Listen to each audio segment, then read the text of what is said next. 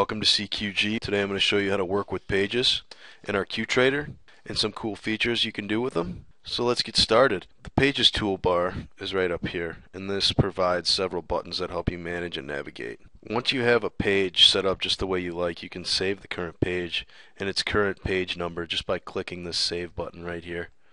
You can also save a page to a specific page number by right clicking the page button right here and clicking save to a page number.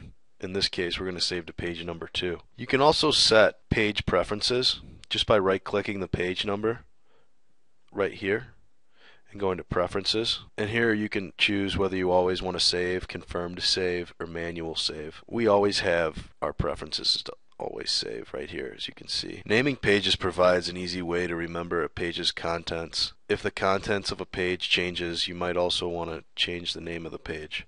So to change the page's name or name a page, just going to right click the page button and scroll down to rename right here. And we have this saved options, but we can edit it and just call it the options page, right? And we can also put it into a group. We're going to put this in our QTrader group.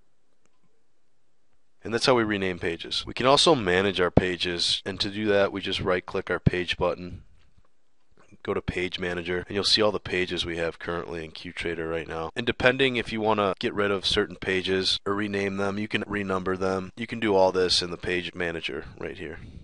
If you want to start fresh and create a new page, you're just going to right click the page button altogether and go down to New Page and you'll get a clean slate and you can start a new page from there. We can also delete pages. You'll see here as this is our one of our pages right here. And we can delete this right clicking the page number and delete the current page. and you'll see it just gets rid of it like that. Moving to another page is as easy as clicking these next and previous buttons right here we can go next and we'll get all our different pages and we'll just scroll through all the pages you have. You can also use our shortcut by clicking control plus and control minus to scroll through our pages.